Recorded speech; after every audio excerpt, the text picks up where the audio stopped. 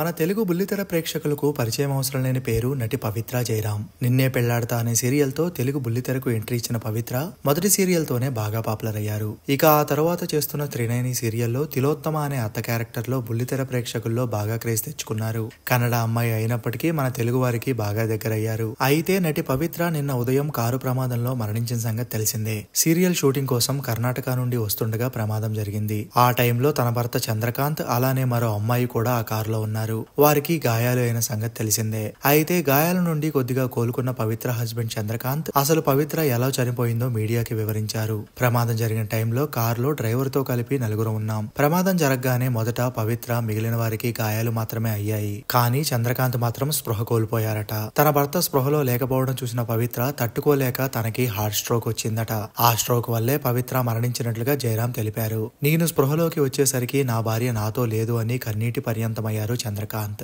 ఏది ఏమైనా పవిత్ర మరణం వారి ఫ్యామిలీకి తీరని లోటు అని చెప్పాలి ఆ దేవుడు వారి ఫ్యామిలీకి ధైర్యాన్ని ఇవ్వాలని కోరుకుందాం